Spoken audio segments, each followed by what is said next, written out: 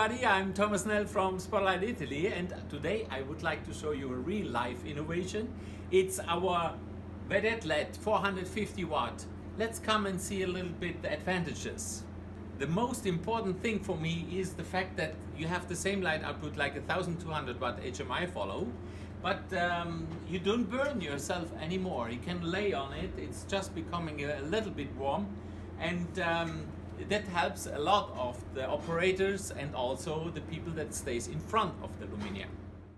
Well, it's a real life innovation because you don't need to use any more CTO filters that you had to use before with discharge lamps in order to avoid the greenish or the bluish touch of this light output. Now with this follow spot you can have color rendering 95 and more and this solves a lot of problems. You are much better in rendering colors and especially you give the look to the people as they are.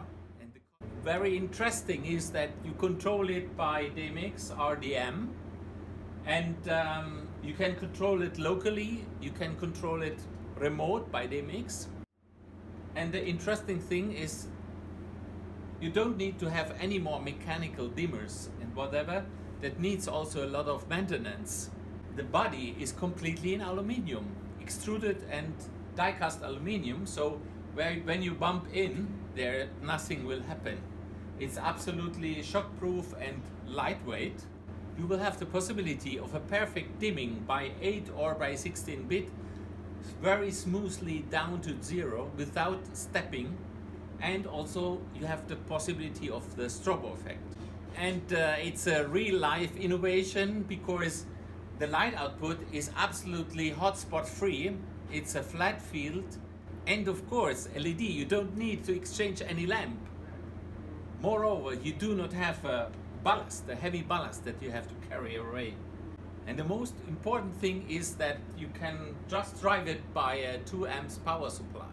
It means concretely that you don't need to become a headache because of the power supply, where to pull the cables and from where I get the power.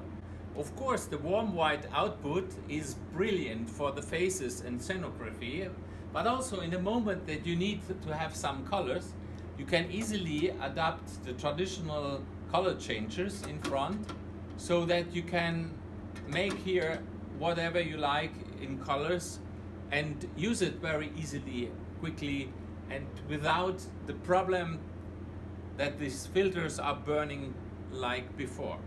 And uh, of course, you will have also the RGB version where you can just um, replace here in front the color changer.